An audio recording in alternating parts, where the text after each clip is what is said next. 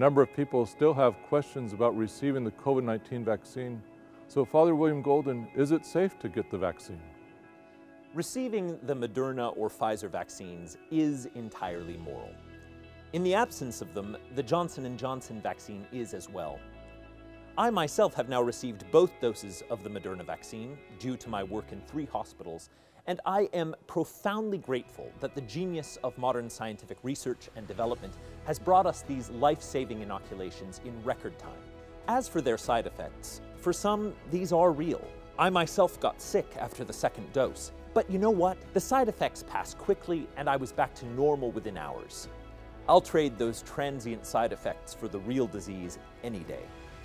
I would like to encourage each of you to get vaccinated as soon as possible once it's your turn. As Christians, we are commanded to love our neighbors as ourselves. Getting vaccinated against COVID 19 is a wonderful way to love our neighbors. God bless you all.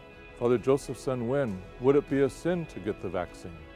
As a biomedical ethicist, I have studied each type of COVID-19 vaccine and representing a pro-life church, my assessment concurs with the Holy See and the bishops here in saying that the mRNA vaccines by Moderna and Pfizer are morally acceptable. We are confident of their dissociation from abortion but we concur that the Johnson & Johnson vaccine could be acceptable in the absence of alternatives. Thank you, Father Golden, Father Nguyen, for assuring us that the vaccine is safe, it is effective, and that it would not be a sin to be vaccinated. And in service to the common good, we should encourage one another to receive this vaccine. God bless you.